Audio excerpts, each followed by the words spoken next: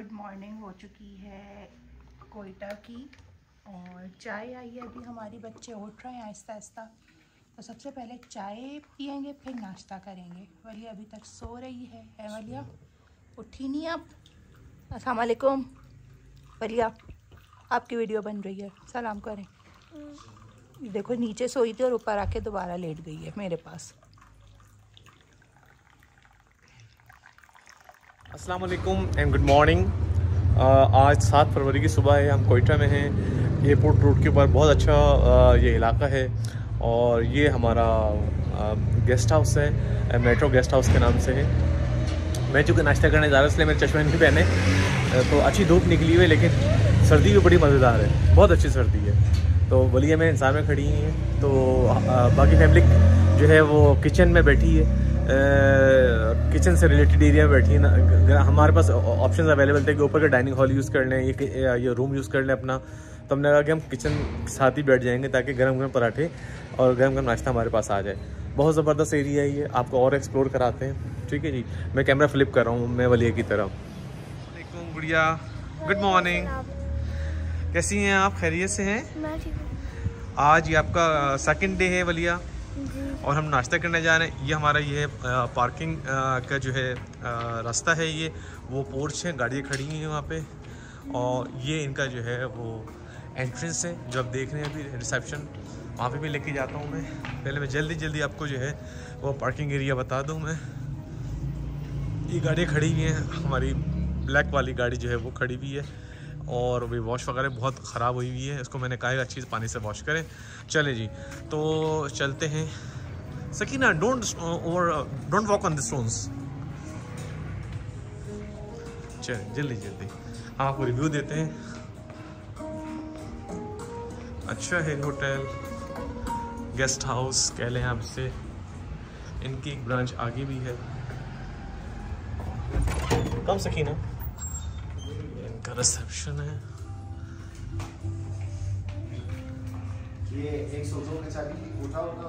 चले। हमारा first floor पे है आपको आपको लेके चलेंगे। ईशल सकीना लीड करें। चलिए जी। तो चलते हैं। ये मल्टी लाइट्स मल्टी लगी हुई लेकिन रूम बहुत अच्छे हैं सर्विसेज़ बहुत अच्छी you taken the uh, room key, Isha? Yes. Okay. Now we are heading towards the dining area, which is adjacent to the kitchen. Lead me to the I never been there तो हम वहाँ लेके जा रहे हैं जहाँ पे dining hall है इनका नीचे नीचे वाला किचन के साथ एडजस्टेड एरिया है ये।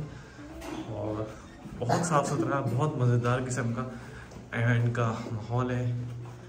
ये डाइनिंग हॉल है। वाओ ये देखें ये सम सम सॉर्ट ऑफ़ जो है स्मॉल मेस लग रहा है। ओके चले ले आते हैं। Let's turn on the lights first if there is electricity now I suppose.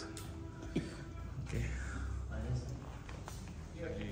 ये मैं सबा यहाँ की रिसेप्शनिस्ट और आप ये आप पीआर मैनेजर कह लें। PR manager is the right word तो आ, कैसी मैम? खैरियत से आप?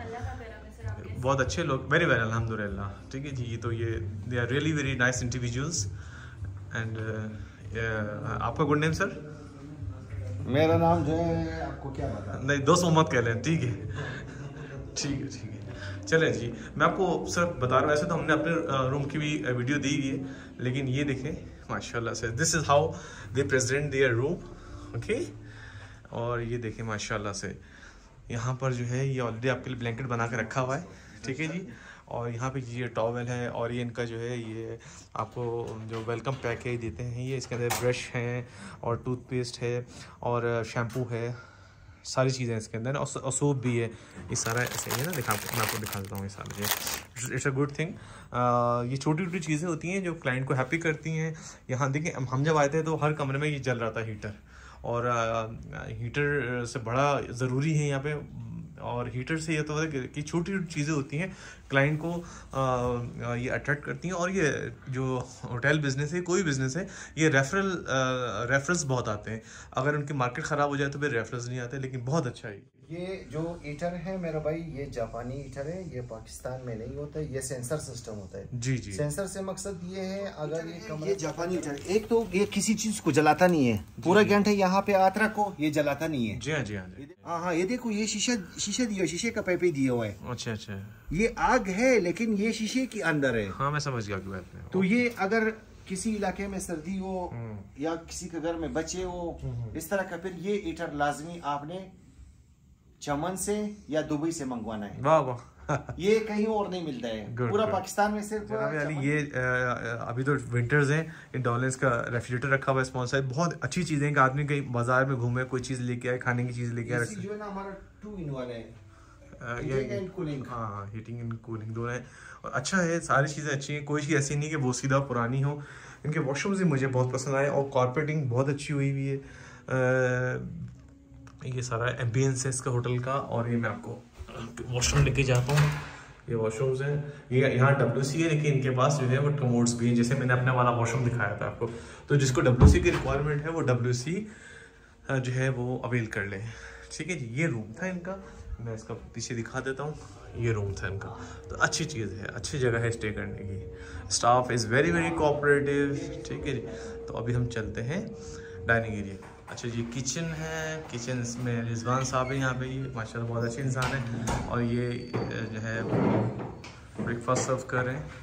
देखिए कितनी अच्छी प्रेजेंटेशन सफ़ाई सुथराई से काम होता है यहाँ सारे ये जो है प्लास्टिक चढ़ाई हुई है उन्होंने इसके ऊपर, देखने का ठीक है जी? और गर्म गर्म है ना ये? सारी चीज़ें बहुत अच्छी हैं। देखिए, पराठे कितने अच्छी प्रेजेंटेशन से उन्होंने रखे हुए हैं। Very nice I am very happy over there hospitality management hotel management you में से तो ये बहुत अच्छा है। ज़बरदस्त। ये है साहब थैंक यू रिजवान साहब। तो जनाब, ये था हमारा होटल और हम यहाँ पर रुके थे। काफ़ी लोग जो थे वो मुझसे पूछ रहे थे कि इसका नाम भी बता दें।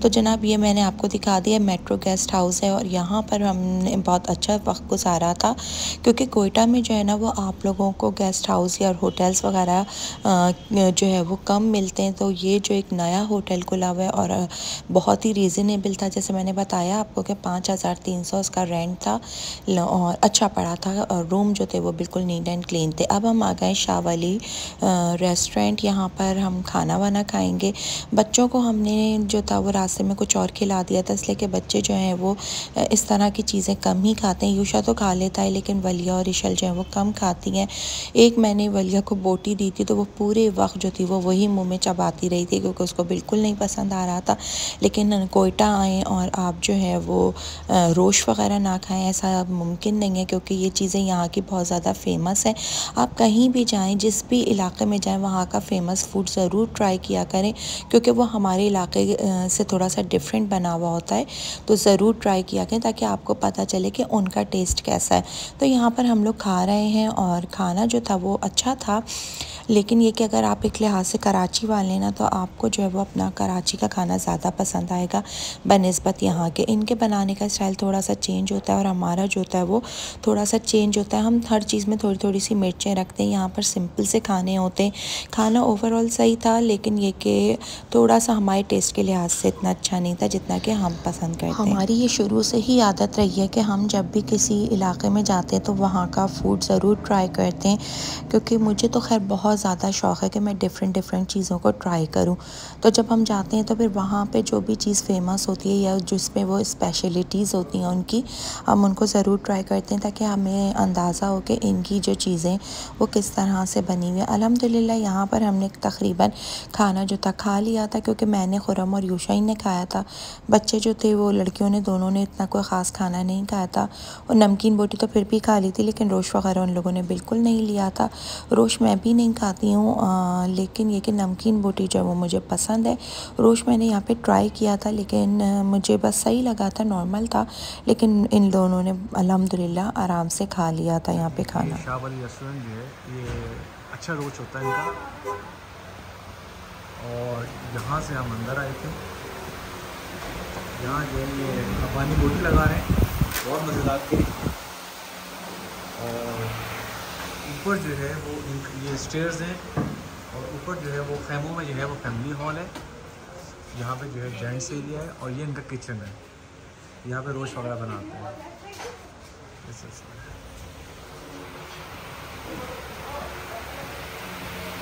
शुक्रिया थैंक यू खड़े हैं, हम जाएँगे। मैं यहाँ पे रोज़ खाया था तो तकरीबन रोज़ जो है वो साढ़े आठ सौ रुपये का रोज़ था गालिबन। उसके बाद जो है वो नमकीन बोटी खाई थी। आप लोग भी यही नमकीन बोटी वगैरह करते हैं? जी सर। अच्छा जी तो ख़त्म हो गई सब कुछ। ठीक है ठीक है।